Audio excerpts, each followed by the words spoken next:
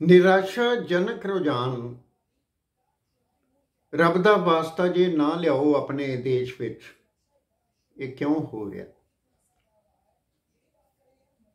ਇਹ ਇੱਕ ਉਹ ਚੀਜ਼ ਹੈ ਜਿਹਦੇ ਨਾਲ ਹਿਰਦੇ ਬਲੁੰਦਰੇ ਜਾਂਦੇ ਨੇ। ਸਾਡੀਆਂ ਉਹ ਸਾਂਝਾਂ ਜਿਹੜੀਆਂ ਪ੍ਰਤੱਖ ਤੌਰ ਤੇ ਨਜ਼ਰ ਆਈਆਂ ਤੁਹਾਨੂੰ, ਜਦੋਂ ਦੇਸ਼ ਦੀ ਆਜ਼ਾਦੀ 10 ਲੱਖ ਲੋਕਾਂ ਦੀਆਂ ਲਾਸ਼ਾਂ ਦੇ ਉੱਤੇ ਰੱਖੀ ਗਈ। ਬੰਗਾਲ ਤੇ ਪੰਜਾਬ ਦੇ ਵਿੱਚ ਰੱਜ ਕੇ ਕਤਲੋਗਾਰ ਤੇ ਕਤਲੋ ਆਮ ਹੋਇਆ। ਤੇ ਉਦੋਂ ਵੀ ਜਿਹੜੀਆਂ ਸੀਗੀਆਂ ਸਾਂਝਾਂ ਨਹੀਂ ਟੁੱਟੀਆਂ, ਕਿਉਂਕਿ ਅਸੀਂ ਇੱਕ ਸੱਚੇ ਦੇਸ਼ ਵਾਸੀ ਸੀ। ਉਸ ਦੇਸ਼ ਵਾਸੀਅਤਾ ਦੇ ਵਿੱਚੋਂ ਅਸੀਂ ਨਿਕਲ ਗਏ ਤੇ ਫਿਰ ਜਿਹੜੀ ਕੁਚੱਜੀ ਸਰਕਾਰ ਸੀਗੀ ਉਹਨੇ ਕਈਆਂ ਬਾਰੇ ਗਲਤ ਧਾਰਨਾਵਾਂ ਪੈਦਾ ਕੀਤੀਆਂ। ਉਹ ਬੀਜ ਬੋਏ, ਉਹਨਾਂ ਦੀ ਕੁਰਬਾਨੀ ਨੂੰ ਸਾਹਮਣੇ ਨਹੀਂ ਰੱਖਿਆ ਕਿ ਇਹ ਕੀ ਖੋ ਕੇ ਆਏ ਤੇ ਕੀ ਪਾ ਕੇ ਆਏ। ਰਾਜਪੁਰੇ ਦੇ ਵਿੱਚ ਹੈਵੀ ਇੰਡਸਟਰੀ ਲੱਗੀ। ਲੱਗਣੀ ਵੀ ਚਾਹੀਦੀ ਸੀ, ਪੰਜਾਬ ਦੇ ਜ਼ਖਮ ਮੱਲੇ ਸਨ।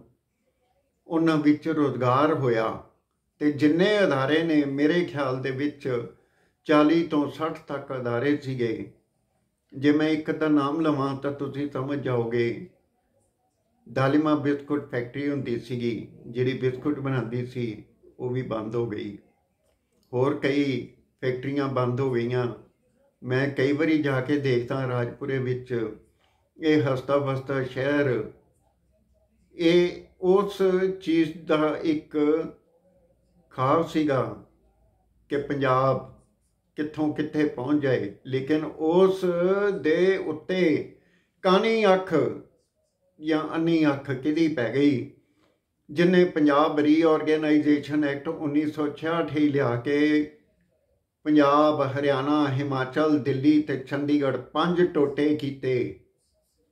ਇਹਨਾਂ ਨੂੰ ਸਬਰ ਨਹੀਂ ਆਇਆ। 1947 ਵਿੱਚ ਦੋ ਟੋਟੇ ਹੋ ਗਏ ਦੇਸ਼ ਦੇ ਪੰਜਾਬ ਦੇ। ਦੇਸ਼ ਪੰਜਾਬ ਇੱਕ ਉਹ ਹਸੀਅਤ ਇੱਕ ਉਹ ਹਕੀਕਤ, ਜਿਹੜੀ ਸਭ ਤੋਂ ਤਾਕਤਵਰ ਸੀਗੀ, ਇਸ ਦੇ ਵਿੱਚ ਕੁਝ ਹੀ ਚਾਲ ਕਿੰਨੇ ਚੱਲੀ ਤੇ ਵਿਸ ਕਿੰਨੇ ਕੋਲੀ ਤੁਸੀਂ ਇਹ ਦੇਖੋ, ਪੰਜਾਬੀ ਜ਼ੁਬਾਨ ਇੱਕ ਐਸੀ ਦੁਨੀਆ ਦੀ ਜ਼ਬਾਨ ਹੈ, ਜਿਹਦੇ ਵਿੱਚ ਦੋ ਲਿਪੀਆਂ ਨੇ।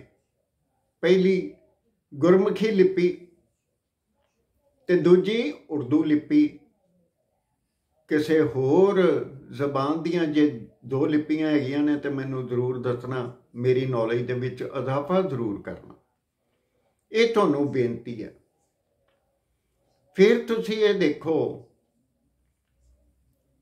ਪੰਜਾਬ ਦਾ ਜਿਹੜਾ ਹੈ ਪਾਵਰ ਪ੍ਰੋਜੈਕਟ ਉਹ ਖੋਏ ਗਏ ਪੰਜਾਬ ਤੋਂ। ਤੇ ਸਾਡੇ ਰਾਜਨੀਤੀਵਾਨ ਕਿੱਥੇ ਕਿੱਥੇ ਬਟਵਾਰਾ ਕਰਕੇ ਸਹਿ ਕੇ ਆਪਸ ਵਿੱਚ ਲੜਦੇ ਰਹੇ, ਝਗੜਦੇ ਰਹੇ ਤੇ ਹੋਰ ਤੇ ਹੋਰ ਆ ਜਿਹੜੇ ਪੰਜ ਖਿੱਤੇ ਮੈਂ ਪੰਜਾਬ, ਹਰਿਆਣਾ, ਹਿਮਾਚਲ, ਦਿੱਲੀ ਤੇ ਚੰਡੀਗੜ੍ਹ ਗਿਣਾਏ ਨੇ, ਇਹਨਾਂ ਦੇ ਵਿੱਚ ਸਰਪਲਸ ਸਟੇਟ ਪੰਜਾਬ ਸੀ ਜਿਹੜੀ ਇਸ ਏਰੀਏ ਸਾਰੇ ਨੂੰ ਇਕੱਠੇ ਕਰਕੇ ਉਸ ਸਰਪਲਸ ਫੰਡਸ ਨੂੰ ਖਾ ਗਈ। ਇਹ ਵੰਡ 1966 ਦੀ ਤੇ ਕਰਜ਼ੇ ਚੜ ਗਏ ਤੇ ਪਈ ਇਹਨਾਂ ਨੂੰ ਪੂਰੀ ਫੰਡ ਕਰਜ਼ਿਆਂ ਦੀ। ਬਦਹਾਲੀ ਕਿਦੀ ਹੋਈ? ਮੰਦਹਾਲੀ ਕਿਦੀ ਹੋਈ? ਇਹ ਖਿੱਤੇ ਦੇ ਲੋਕਾਂ ਦੀ। ਜੇ ਇਹ ਖਿੱਤੇ ਦੇ ਲੋਕਾਂ ਦੀ ਮੰਦਹਾਲੀ ਹੋਈ, ਬਦਹਾਲੀ ਹੋਈ, ਇੱਕ ਦੂਸਰੇ ਨੂੰ ਅਸੀਂ ਸਹਿਣ ਨਹੀਂ ਕਰ ਪਾਏ। ਸਮਾਂ ਹੁੰਦਾ ਸੀ ਜਦੋਂ ਅੰਮ੍ਰਿਤਸਰ ਤੋਂ ਬਰਾਤ ਚਲਦੀ ਸੀ ਤੇ ਰਾਤ ਦਿੱਲੀ ਜਾ ਕੇ ਟੁਕਾ ਹੁੰਦਾ ਸੀਗਾ। ਰਾਤ ਰਹਿਣਾ, ਅਗਲੇ ਦਿਨ ਫੇਰੇ ਲੈਣੇ, ਸਭ ਕੁਝ ਕਰਨਾ ਤੇ ਬਰਾਤ ਨੇ ਵਾਪਸੀ ਪਾ ਦੇਣੀ ਵੇਲੇ ਤੇ।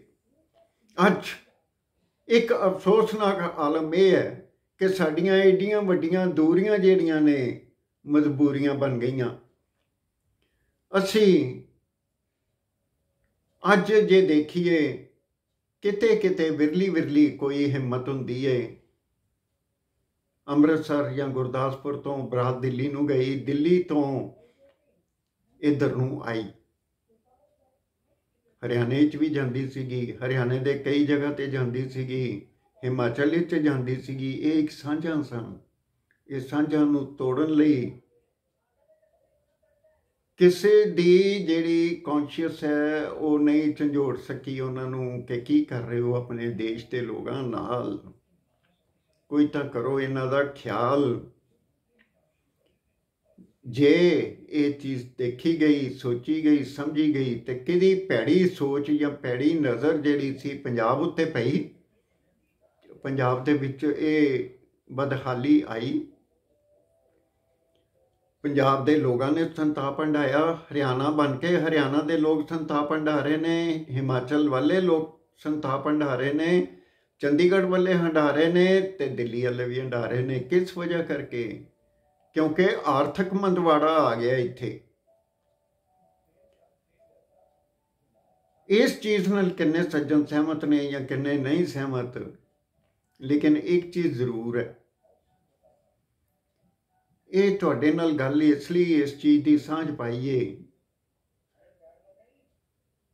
ਅਸੀਂ ਦੋ ਭਰਾ ਚੱਠੇ ਖਾਣ ਪੀਣ ਨੂੰ ਅੱਡੋ ਅੱਡੀ ਲੜਨ ਨੂੰ ਇਕੱਠੇ। ਕੀ ਇਹ ਗੱਲ 1966 ਤੋਂ ਪਹਿਲੇ ਦੇ ਪੰਜਾਬ ਤੇ ਅੱਜ ਵੀ ਇਹ ਟੁਕਦੀ ਹੈ ਅਨੁਕੂਲ ਹੈ ਜਾਂ ਮਕੂਲ ਹੈ? ਇਸ ਚੀਜ਼ ਦੇ ਉੱਤੇ ਬੇਨਤੀ ਹੈ ਕਿ ਖਿੱਤੇ ਦੇ ਲੋਗੋ ਤੁਸੀਂ ਇਹ ਸੋਚ ਲਓ। ਸਾਂਝੇ ਪੰਜਾਬ ਦੀ ਸਾਂਝ ਆਪਣੇ ਮਨ ਵਿੱਚ ਬੋਚ ਲਵੋ ਕਿ ਤੁਸੀਂ ਇੱਕ ਤਾਕਤਵਰ ਖਿੱਤੇ ਦੇ ਲੋਕ ਹੋ ਕੇ ਇੱਕ ਆਪਣੀ ਤਾਕਤ ਨੂੰ ਬਟਵਾਰੇ ਵਿੱਚ ਕਿਉਂ ਨਸ਼ਟ ਕਰਤਾ? ਇਹ ਮੇਰਾ ਸਵਾਲ ਹੈਗਾ ਤੁਹਾਡੇ ਨਾਲ, ਗੱਲਾਂ ਇੰਨੀਆਂ ਕੁ ਦੇ ਨਾਲ ਕਰਦਾ। ਸਤਿ ਸ੍ਰੀ ਅਕਾਲ। ਇਸ ਵੀਡੀਓ ਨੂੰ ਵੱਧ ਤੋਂ ਵੱਧ ਸ਼ੇਅਰ ਕਰਨਾ, ਸਬਸਕ੍ਰਾਈਬ ਕਰ ਦੇਣਾ ਮੇਰੇ ਚੈਨਲ ਨੂੰ। ਤੇ ਇਹ ਵੀਡੀਓ ਹਰ ਪੰਜਾਬ ਦੇ ਵਿੱਚ, ਖਿੱਤੇ ਵਿੱਚ, ਹਰਿਆਣਾ ਦੇ ਵਿੱਚ, ਹਿਮਾਚਲ ਦੇ ਵਿੱਚ, ਦਿੱਲੀ ਦੇ ਵਿੱਚ, ਚੰਡੀਗੜ੍ਹ ਦੇ ਵਿੱਚ ਖਾਸ ਤੌਰ ਤੇ ਪਛਾਣ ਲਈ ਉਪਰਾਲਾ ਕਰ ਦੇਣਾ। ਇਸੇ ਤਰ੍ਹਾਂ ਜਿਵੇਂ ਗੁਰੂ ਗੋਬਿੰਦ ਸਿੰਘ ਜੀ ਨੇ ਵਿਸਾਖੀ ਆ ਰਹੀ ਹੈ ਕੋਈ ਦਿਨਾਂ ਤੱਕ, ਉਹਨਾਂ ਨੇ ਲੱਖਾਂ ਦੇ ਇਕੱਠ ਵਿੱਚ ਆ ਕੇ ਇੱਕ ਗੱਲ ਕਹੀ ਔਰ ਸ਼ਾਇਰ ਨੇ ਕਲਮਬੱਧ ਕੀਤੀ, ਸ਼ਾਇਰ ਗੁਮਨਾਮ ਹੈ, ਮੇਰੇ ਕੋਲ ਉਹਦਾ ਨਾਮ ਨਹੀਂ। ਮਾਫੀ ਚਾਹਨਾ ਇਸ ਚੀਜ਼ ਦੀ, ਲੇਕਿਨ ਉਹਦੀਆਂ ਜਿਹੜੀਆਂ ਦੋ ਸਤਰਾਂ ਨੇ, ਉਹ ਤੁਹਾਡੇ ਨਾਲ ਸਾਂਝੀਆਂ ਕਰ ਰਿਹਾ। ਜਦੋਂ ਭਰੇ ਦੀਵਾਨ ਵਿੱਚ ਕੇਸਗੜ ਦੇ ਕਲਗੀ ਵਾਲੜੇ ਆਂ ਲਲਕਾਰਿਆ ਸੀ, ਉਠੋ, ਦਿਓ, ਇਹ ਕੋਈ ਸੀਸ ਮੈਨੂੰ? ਆਪਣੇ ਸਿਦਕੀਆਂ ਤਾਈ ਮੰਗਾ ਰਿਆ ਸੀ। ਐ ਪਰ ਕੁਝ ਕੁ ਹਲਚਲ ਮਚ ਗਈ। ਹਰ ਕੋਈ ਉੱਠ ਕੇ ਘਰੀ ਪਧਾਰਿਆ ਸੀ।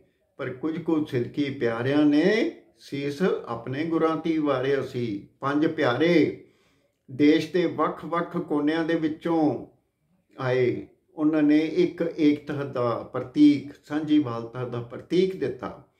ਇਹ 17 ਮੈਨੂੰ ਮੇਰੇ ਵੱਡੇ ਮਾਮਾ ਜੀ, ਸਰਦਾਰ ਗੁਰਬਖਸ਼ ਸਿੰਘ ਜੀ ਨੇ ਮੈਨੂੰ ਸੁਣਾਈਆਂ ਸਨ ਤੇ ਮੇਰੇ ਜ਼ਿਹਨ ਦੇ ਵਿੱਚ ਛਪ ਗਈਆਂ ਸਨ। ਕਿ ਜੇ ਗੁਰੂ ਸਾਹਿਬ ਦੀ ਸੋਚ ਇੰਨੀ ਸੁਚੱਜੀ ਸੀ, ਪੰਜ ਪਿਆਰੇ ਦੇਸ਼ ਦੇ ਵੱਖ-ਵੱਖ ਹਿੱਸਿਆਂ ਤੋਂ, ਖਿੱਤਿਆਂ ਤੋਂ ਆਏ, ਸਜਾ ਦਿੱਤੇ ਗੁਰੂ ਸਾਹਿਬ ਨੇ। ਗੁਰੂ ਸਾਹਿਬ ਨੇ ਇਹ ਨਹੀਂ ਆਖਿਆ ਕਿ ਤੂੰ ਉਸ ਖਿੱਤੇ ਤੋਂ ਆਇਆ ਕਿਉਂ? ਜਿਹੜਾ ਅੱਗੇ ਆਇਆ ਗੁਰੂ ਦਾ ਸਿੱਖ, ਜਿਨੇ ਗੁਰੂ ਅੱਗੇ ਸੀਸ ਨਵਾਇਆ ਉਸ ਨੂੰ ਗੁਰੂ ਜੀ ਨੇ ਆਪਣੇ ਗੱਲ ਨਾਲ ਲਾ ਕੇ ਅਪਣਾਇਆ ਇਹ ਵਿਆਸ ਵਿਸਾਖੀ ਦਾ ਦਿਹਾੜਾ ਆਉਣ ਵਾਲਾ ਹੈ। ਤੁਹਾਡੇ ਕੋਲ ਇਹ ਅੱਜ ਗੱਲ ਮੈਂ ਕੀਤੀ ਹੈ। ਤੁਹਾਡੇ ਨਾਲ ਕਰਿਓ ਸਤਿ ਸ੍ਰੀ ਅਕਾਲ। ਤੇ ਇਸ ਵੀਡੀਓ ਨੂੰ ਵੱਧ ਤੋਂ ਵੱਧ ਸ਼ੇਅਰ ਕਰਨਾ ਸਬਸਕ੍ਰਾਈਬ ਕਰਨਾ, ਗੱਲਾਂ ਇੰਨੀਆਂ ਕੁ ਦੇ ਨਾਲ।